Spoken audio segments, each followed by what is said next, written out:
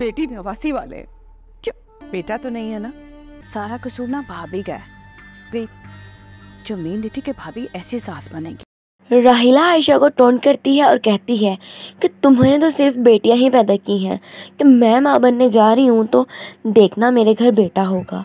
दूसरी तरफ़ एनी की पप्पो गुस्सा करती है और कहती है कि मुझे बड़ी भाभी से ये उम्मीद नहीं थी। उसने एनी को नौकरानी बना के रख दिया है और ये नहीं देखा कि वो एक बच्चे की माँ है। उसे घर के साथ साथ किचन का काम भी सौंप दिया, जिसकी वजह से एनी की तबीयत ख़राब हुई है, वरना वो